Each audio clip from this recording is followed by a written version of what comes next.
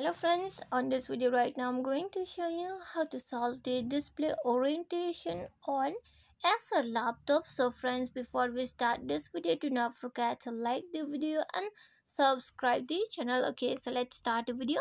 Here at first what you need to do is start on the down. You will be able to see here the start button. So click on the start button. When you click on the start button here in this page you will be able to see this setting somewhere else and click on this setting. Okay so when you move on this setting here what you need to do is that on the left side you will be able to see system and on the right side you will be able to see the display option. So here you have to click on the display okay?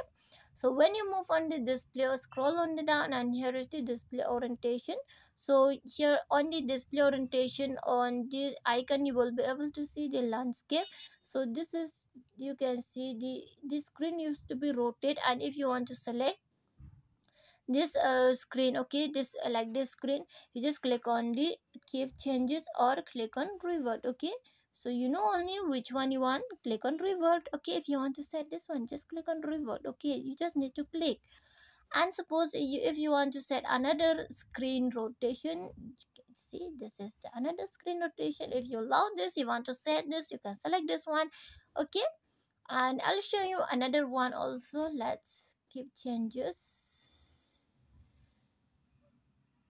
this is the revert okay? If you want to set you can set. And another one is the portrait flip. So if you love this screen only you can select the landscape okay? Only the landscape.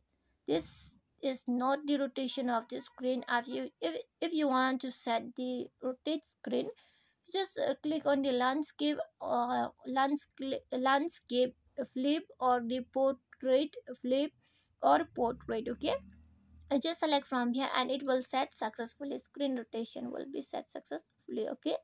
So friends hope you loved the video and if you loved the video please like the video share the video and subscribe the channel friends. Thanks for watching. Bye